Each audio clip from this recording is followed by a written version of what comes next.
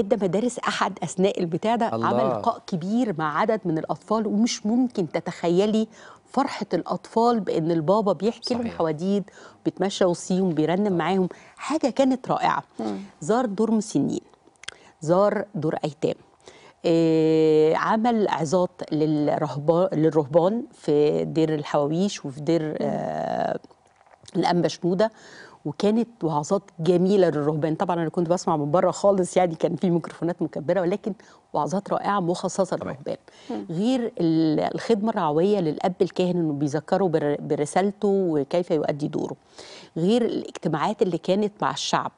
غير دوره في ال في ال الحقيقة الحقيقة غنى، كم التنوع.